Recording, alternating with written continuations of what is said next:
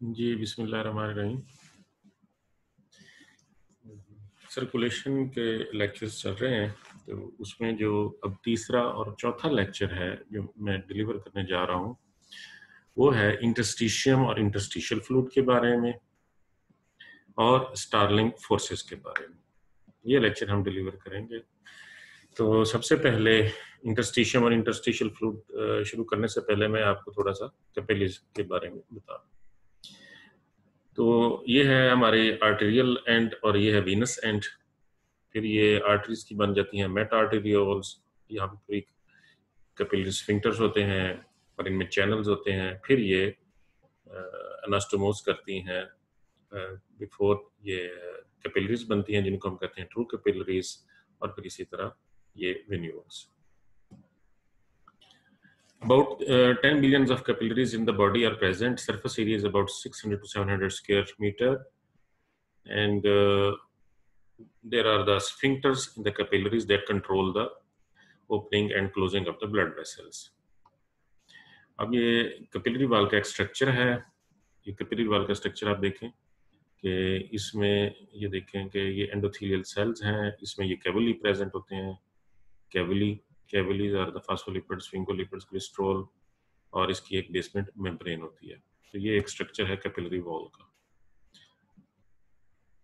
Capillary walls में मुख्तलिफ़ किस्म के पोर्स होते हैं जहाँ से जो मूवमेंट्स ऑफ़ द फ्लूड होती है। और, अब हम आते हैं, ये, यानी कैपिलरीज के थ्रू जो है मूवमेंट होती है। सेल्स की और मूवमेंट की। अब हम आते हैं अपने टॉपिक की तरफ़ कि इंटरस्टिशियम एंड इंटरस्टिशियल फ्लूड क्या है। The space between the cells is called as interstitium. And whatever is the fluid that is present in the interstitium is called as interstitial fluid. It is one sixth of the total volume of the blood. Here you can see that uh, the intracellular fluid is about 67 percent. Extracellular fluid is 30 uh, it is uh, 33 percent intracellular fluid is 67% and extracellular fluid is 33%. Among the 33%, 26% यानी major portion जो है extra fluid का 26 percent वो है interstitial fluid जबकि intravascular fluid जो vessel के अंदर जो फ्लूड है वो सिर्फ़ 7 परसेंट है जो कि प्लाज्मा होता है और सिर्फ़ 8 परसेंट जो है वो सी होता है सेरिब्रो स्पाइनल फ्लूड यानी कि इंट्रासेलुलर फ्लूड का जो मेजर पोर्शन है इंट्रासेलुलर फ्लूड वो है 67 परसेंट और एक्स्ट्रा सेलुलर फ्लूड का जो मेजर पोर्शन है, वो है इंटरस्टिशियल फ्लूड 26 परसेंट थोड़ा सा जो है इंट्रावास्कुलर होता है, यानी 7 परसेंट और जस्ट वन परसेंट जो है वो सी एस एफ़ होता है सेरिब्रोस्पाइनल फ्लूड होता है। या ग्रॉसली स्पीकिंग हम कह सकते हैं कि इंट्रा सेलुलर फ्लूड 67 परसेंट और एक्स्ट्रा सेलुलर फ्लूड जो है वो 33 परसेंट होते हैं। दोबारा से interstitium the spaces between the cells are called as interstitium and the fluid present in the interstitium is called as interstitial fluid अब हम आते हैं कि इंटरस्टिशियम का स्ट्रक्चर कैसे होता है। First of all you have to see this diagram here is one cell, this is the one cell and this is the other cell and the space between these cells is called as interstitium और interstitium में क्या होता है कि ये देखें ये red colour के these are the collagen fibres collagen fibres और ये जो थिन से बहुत ही thin these are called as proteoglycan filaments collagen fibres and proteoglycan filaments and there are the free fluid in the interstitium Collagen fibers, these are the long distance in the stem. They are strong and provide the strength through the tissue. Proteoglycan filaments, these are thin and coiled and twisted and they are composed of hyaluronic acid and proteins. Most of time, 98% is the hyaluronic acid. The combination of proteoglycan filaments and fluid entrapped within them has the characteristics of a gel and is called as tissue gel. यानी कि fluid का और प्रोटियोग्लाइकिन जो filaments हैं, इसका जो combination है, उसको हम एक जल कहते हैं जल एक जल बन जाता है। Now come the Starling forces Starling forces क्या है? You see this diagram and then come was the Starling forces number one capillary hydrostatic pressure PC capillary hydrostatic pressure number 2 interstitial fluid hydrostatic pressure. Interstitial fluid hydrostatic pressure. And on the third place is the colloidal osmotic pressure of plasma capillaries. Colloidal osmotic pressure of the plasma present in the capillaries. And lastly is the colloidal osmotic pressure of the interstitial fluid. So you can see that there are two hydrostatic pressures and two colloidal osmotic pressures. Hydrostatic pressure, one is of capillaries and the other one is of interstitium. In the same way, colloidal osmotic pressure are two. One is of the plasma in the capillaries and the other one is the, other one is of interstitial fluid. ये चार चीज़ें आप ध्यान में रखें। अगर हमने starling forces को समझना स्टारलिंग फोर्सेस को समझने के लिए चार चीज़ें हैं। फिर ही हमें पता चलेगा कि फ्लूड की जो मूवमेंट है, वो किस डायरेक्शन में होती है, जब तक कि हमें ये फोर्सेस की अंडरस्टैंडिंग नहीं होगी। Hydrostatic pressure are two one is capillary hydrostatic pressure other one is the interstitial hydrostatic pressure colloidal osmotic pressure are two one is of the capillary and the other one is of the interstitium. Now come towards the capillary hydrostatic pressure, the first one.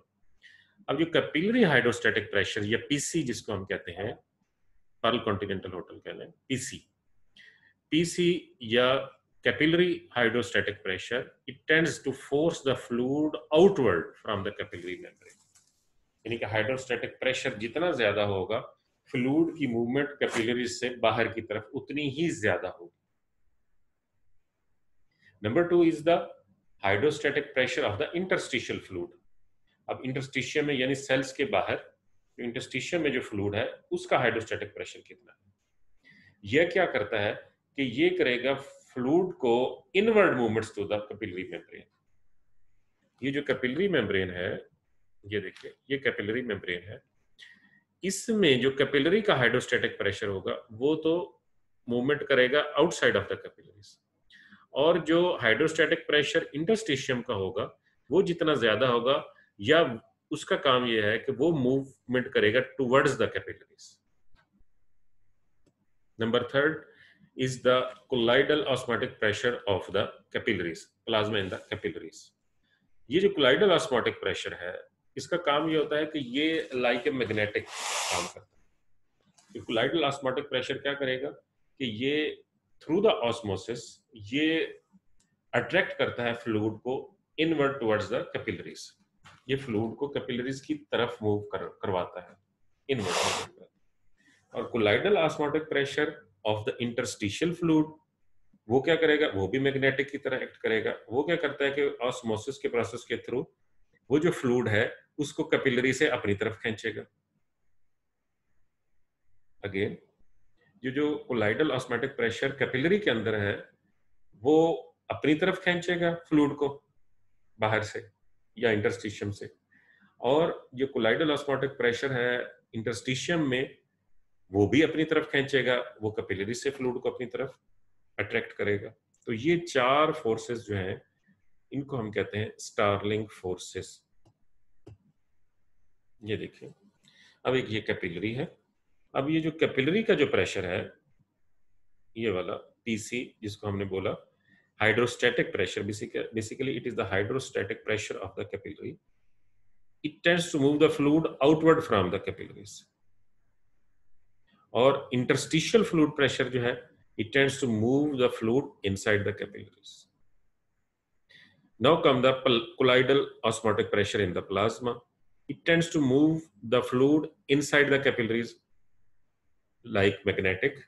अपनी तरफ़ attract करता है खींचता है और इसी तरह ये जो ऑस्मोटिक प्रेशर है ये भी मैग्नेटिक की तरफ़ एक्ट कर, की तरह एक्ट करता है ये फ्लूड को भी अपनी तरफ़ अट्रैक्ट करता है अब क्या पता चला कि ये जो दो फोर्सेस हैं, यानी एक पीसी यानी कैपिलरी प्रेशर और interstitial fluid colloidal osmotic pressure ये दोनों क्या करती हैं कि ये movement of the fluid outside the capillary करते हैं।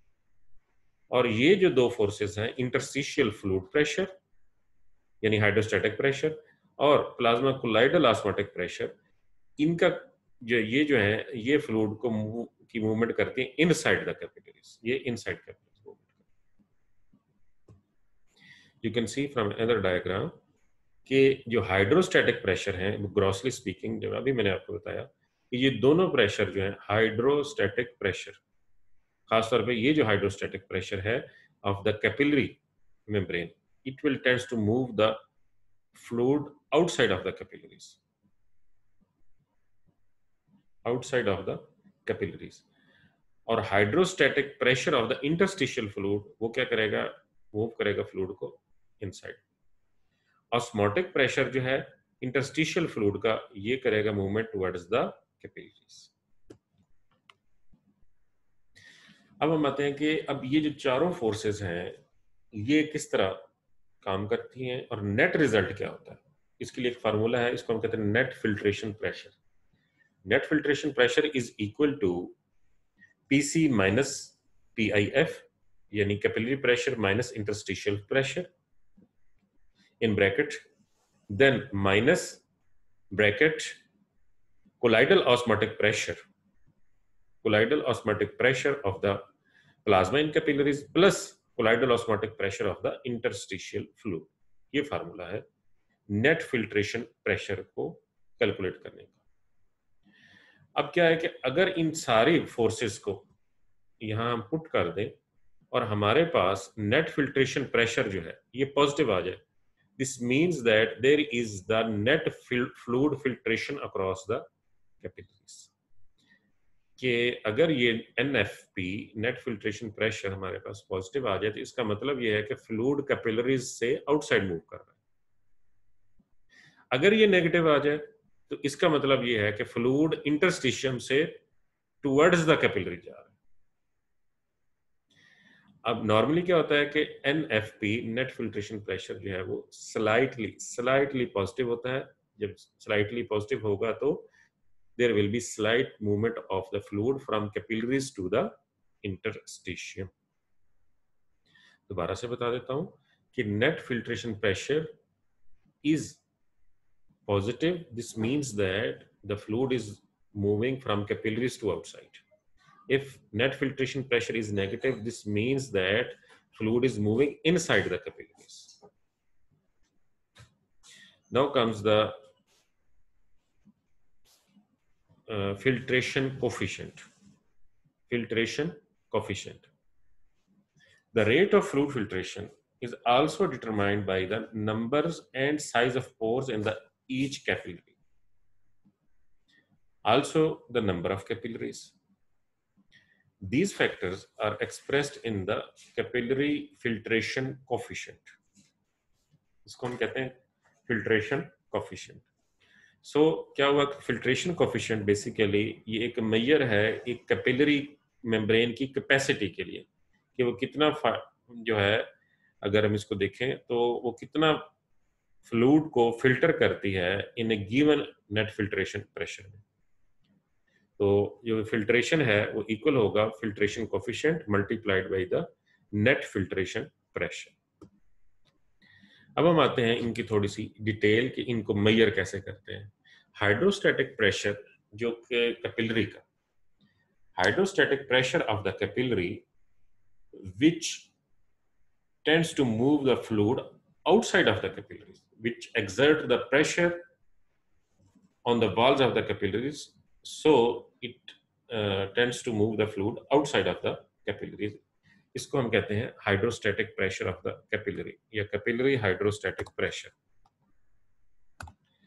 ये जो कैपिलरी हाइड्रोस्टैटिक प्रेशर है इसको मैयर करते हैं दो तरीकों से एक तो है कि micropipette method for measuring the capillary pressure एक microscopic glass pipette is directly put into the capillaries pressure is measured by the एक माइक्रो मैनोमीटर और ये जो कपिलरी हाइड्रोस्टेटिक प्रेशर है डिफरेंट टिश्यूज में ये डिफरेंट होता है। डिफरेंट होता है। लेकिन एवरेज जो है कपिलरी हाइड्रोस्टेटिक प्रेशर जो है, वो 25 मिलीमीटर ऑफ़ एच है average in the gut and skeletal muscle और आर्टीरियल एंड पे ये 30 होता है, और वीनस एंड पे 10 होता है। दूसरा तरीका है जो कि इनडायरेक्ट ये कैपिलरी प्रेशर को मैयर करने का है, इसको हम कहते हैं आइसोग्रेविमेट्रिक मेथड इससे भी हम कैपिलरी प्रेशर मैयर कर लेते हैं आइसोग्रेविमेट्रिक मेथड ये देखें, ये कैपिलरी है, उसको हम ये इधर वेट रख के इसके ज़रिए करते हैं। अब सेकंड फोर्स आ जाती है, पहली थी hydrostatic pressure of the capillary and the other one is hydrostatic pressure of the interstitial fluid ये भी हाइड्रोस्टैटिक प्रेशर है, ये प्रेशर एग्जर्ट करेगा आउटसाइड ऑफ़ द कैपिलरी यानी कि it tends to move the fluid inside the capillary hydrostatic pressure of the interstitial fluid. Hydrostatic pressure of the interstitial fluid. ये lymphatic system की pumping create करता है experimental evidence in most of the natural cavities of the body where there is free fluid the pressure that have been measured is negative वो negative होता है। Intrapleural space में minus eight होता है। Joint की space में minus four to minus six होता है और एपिड्यूरल स्पेस में minus four to minus six होता है।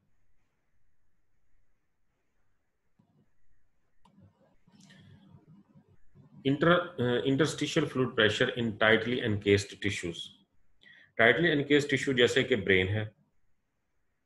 किडनीज के राउंड एक स्ट्रॉन्ग कैप्सूल है।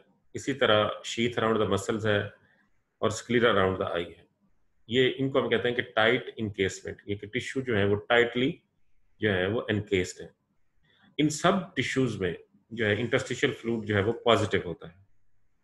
लेकिन at the same time it is less than the pressure excited on outside of the tissues by their encasement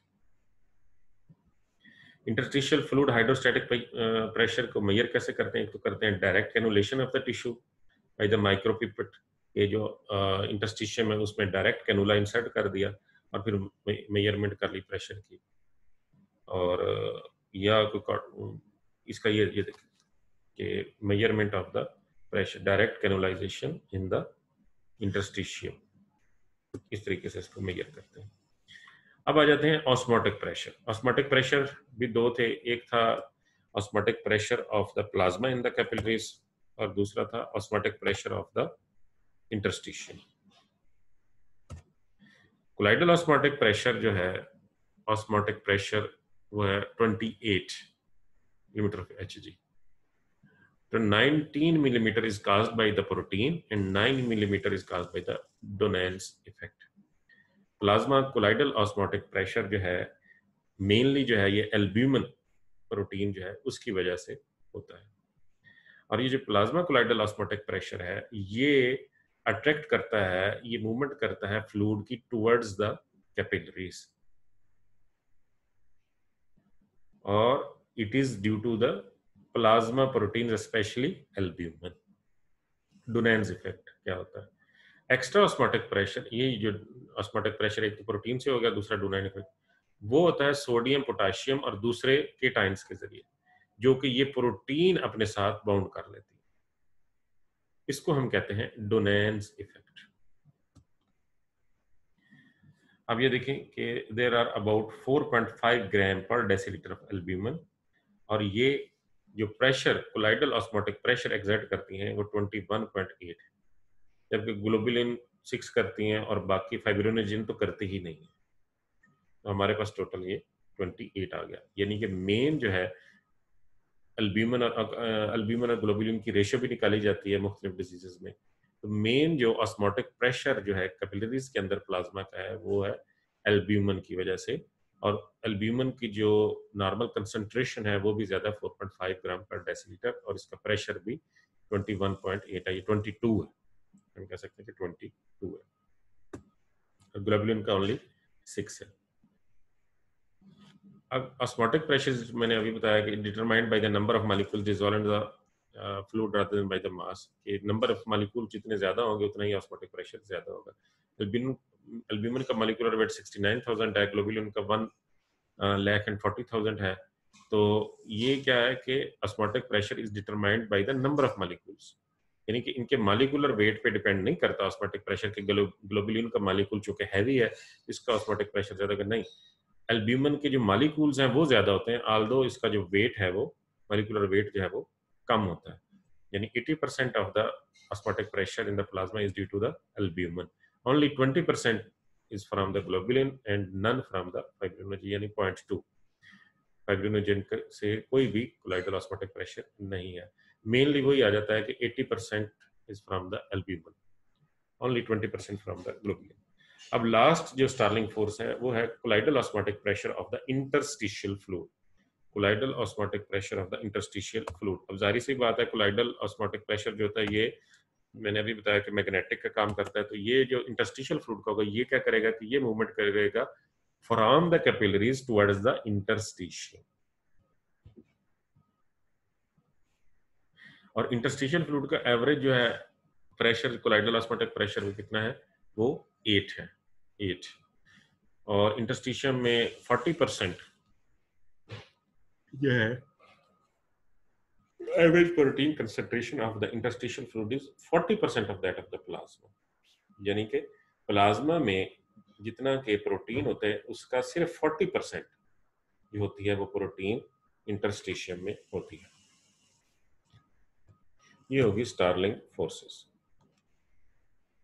अच्छा जी, अब हम ये देखें कि फोर्सेस का filtration at the arterial end of the capillaries arterial end of the capillaries पे कौन कौन सी फोर्सेस हैं कि जो tend to move the fluid outward एक तो कैपिलरी प्रेशर ये आउटवर्ड करेगा, इसका मेन रोल है thirty interstitial fluid pressure interstitial और नेट जो हमारे पास टोटल आ जाता है वो फोर्टी वन है।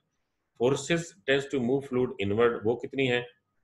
वो है twenty eight twenty eight total तो 41 माइनस ट्वेंटी तो हमारे पास net outward force at the arterial end आ गई 13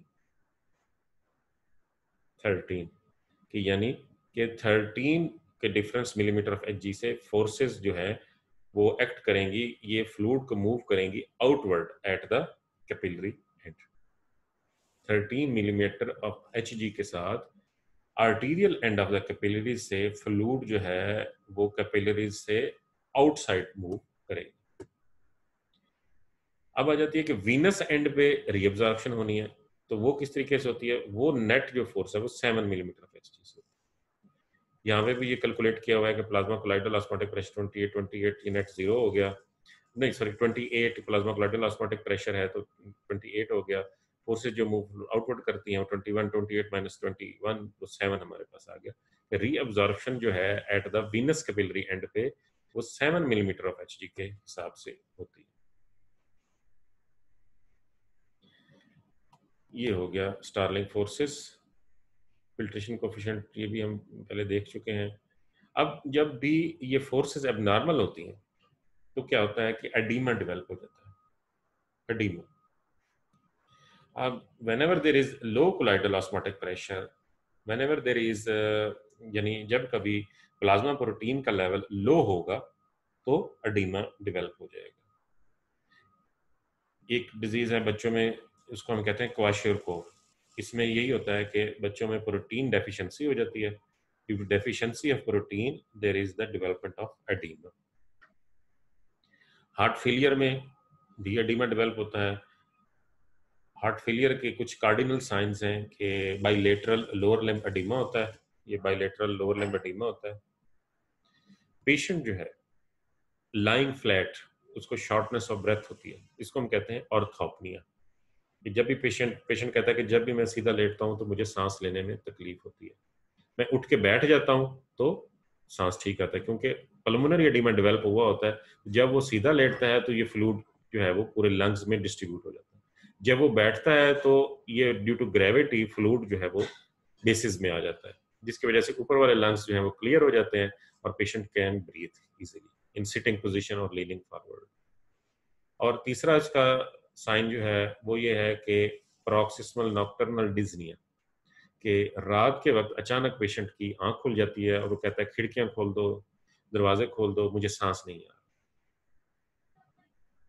और ये जो अडीमा है, ये प्लूरल एफ्यूजन हो जाती है परमनरी अडीमा हो जाता है अबडामिनल स्वेलिंग हो जाती है, पेट में पानी पड़ जाता है, जिसको हम असाइटिस कहते हैं, और बाइलेटरल लोअर लिम की स्वेलिंग हो जाती है, ये एडिमा अब जाता है एडिमा इन एलिफेंटियासिस एलिफेंटियासिस एक डिज़ीज़ है जिसमें यूनिलेटरल एडिमा होता है due to the lymphatic obstruction this is periorbital edema in the renal disease renal disease में अर्ली मॉर्निंग या throughout the day there will be the periorbital edema ये सारे जो है एडिमा ये जो एडिमा की मेन जो कॉजेज हैं वो यही होती हैं ऐसे पेशेंट्स में जो है ऑस्मोटिक प्रेशर जो है, वो फॉल कर जाता है due to the loss of the proteins plasma proteins specially the albumin as a result of that edema will develop because the fluid will accumulate in the interstitial space क्योंकि vessels के अंदर plasma protein कम हो गई। अब जो colloidal osmotic pressure जो होता है, अभी हमने जैसे डिस्कस किया कि colloidal osmotic pressure of the plasma inside the capillaries वो एक मैग्नेट का काम करता है। वो अट्रैक्ट करता है, वो मूवमेंट करता है फ्लूड की towards the vessels towards the capillaries लेकिन जब प्लाज्मा प्रोटीन नहीं होगी इनसाइड तो जो इंटरस्टिशियल स्पेस में जो ऑस्मोटिक प्रेशर है, वो बढ़ जाएगा। वो क्या करेगा? जो भी फ्लूड है, वो कैपिलरीज से अपनी तरफ़ अट्रैक्ट कर लेगा। क्योंकि कैपिलरी का जो है ऑस्मोटिक प्रेशर तो है नहीं, क्योंकि वहाँ पे प्रोटीन नहीं है। इंटरस्टिशियल का जो है ऑस्मोटिक प्रेशर तो पड़ा हुआ है। वो फ्लूड को अपनी तरफ़ अट्रैक्ट कर लेगा जब वो फ्लूड को खींचेगा तो as a result of that interstitium में स्वेलिंग हो जाएगी अडीमा फ्लूड एक्यूमुलेट हो जाएगा और अडीमा डेवलप हो जाएगा। तो ये है मैकेनिज्म ऑफ़ हाइपोप्रोटीनीमिया के जिसमें अडीमा डेवलप हो है ये हमारे दो लेक्चर जो है वो, चूँकि अलग अलग डिलीवर करने में ये प्रॉब्लम था, ये दोनों लेक्चर जो हैं इंटरकोनेक्टेड थे तो इसलिए ये दोनों लेक्चर जो है वो मैंने इकट्ठे दिए एक शॉर्ट सा समरी बता रहा हूँ रिव्यू कर रहा हूँ, दोबारा से देख लेते हैं कि सबसे पहले एक डेफिनेशन आ जाती है इंटरस्टिशियम की। ये देखें कि ये है interstitium the space between the cells interstitial fluid कितना होता है? Intracellular fluid 67 percent extracellular fluid 37 percent thirty sorry 33 percent 33 में से 26 परसेंट जो है वो इंटरस्टिशियल फ्लूड होता है। फिर आ जाता है स्ट्रक्चर ऑफ़ द ये क्या है इंटरस्टिशियम का, ये देखें कि ये स्ट्रक्चर है। बिटवीन द सेल्स ये देख लें कि ये इंटरस्टिशियम है। इंटरस्टिशियम में कोलेजन फाइबर्स होते हैं प्रोटियोग्लाइकिन फिलामेंट्स होते हैं। प्रोटियोग्लाइकिन फिलामेंट्स और ये जो है फ्लूड जो है, ये मिलकर एक जेल टाइप चीज़ बना देते हैं। अब इसी को देखते हुए अब हम आते हैं Starling forces Starling forces four एक है हाइड्रोस्टेटिक प्रेशर जो कि कैपिलरी का है, और दूसरा हाइड्रोस्टेटिक प्रेशर जो है वो इंटरस्टिशियल फ्लूड का है। ये दोनों जो है अपोजिट एक्ट करते हैं। अब तीसरी चीज़ जो है कोलाइडल ऑस्मेटिक प्रेशर प्लाज्मा का है ये मूवमेंट करता है इनसाइड या फ्लूड की और कोलाइडल ऑस्मेटिक प्रेशर जो है वो इंटरस्टिशियम का ये अपनी तरफ़ अट्रैक्ट करता है। अब इन चारों फोर्सेस जो स्टार्लिंग फोर्सेस हैं, उसके नतीजे में हमारे पास नेट फिल्ट्रेशन प्रेशर आ जाता है। Net filtration pressure is equal to hydrostatic pressure of the capillaries, plasma in the capillaries, hydrostatic pressure of the interstitial fluid, इन दोनों को माइनस करेंगे इन ब्रैकेट्स माइनस फिर in brackets colloidal osmotic pressure of the plasma, protein and colloidal plus colloidal osmotic pressure of the interstitial fluid.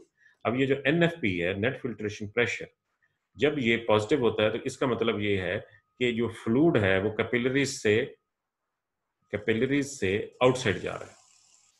अब जब ये negative होता है तो अब ये क्या होगा कि कैपिलरीज फ्लूड को सक करेंगे अपनी तरफ़। कि फ्लूड की मूवमेंट जो है, वो टुवर्ड्स द कैपिलरीज है। नेगेटिव होगा तो इसका मतलब है कि फ्लूड की मूवमेंट टुवर्ड्स द कैपिलरीज है पॉजिटिव होगा तो फ्लूड की movement outside of the capillaries है। फिर इनकी डिटेल है, इनकी मेज़रमेंट है, और फिर नेट फोर्सेस वो हमने डिस्कस कर लें कि एट द एंड क्या होता है। फिर ये है कि कोलाइडल ऑस्मोटिक प्रेशर जब डिक्रीज हो जाता है हाइपोप्रोटीनीमिया हो जाता है, यानी एल्ब्यूमिन कम हो जाती है तो जारी सी बात है कि colloidal osmotic pressure inside the capillaries वो डिक्रीज हो जाता है, और इंटरस्टिशियल फ्लूड में जो कोलाइडल ऑस्मोटिक प्रेशर है, वो इंक्रीज होता है तो वो फ्लूड को अपनी तरफ़ अट्रैक्ट कर लेता है वो मूवमेंट होती है। As a result of that there is the accumulation of the fluid in the interstitium. As a result of that, there is the formation of edema okay आपको ये समझ आ गया होगा। थैंक यू सो मच अल्लाह हाफिज़।